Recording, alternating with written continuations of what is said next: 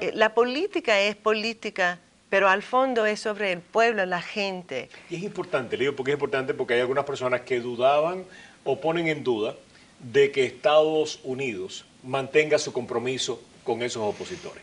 Y que el que usted haya estado allí y que usted haya conversado con ellos, me imagino que ayudó a cambiar esa imagen, sobre todo en personas como Berta Soler, que tenía una visión más crítica de las relaciones. Cuéntenos eh, si eso cambió, cómo cambió.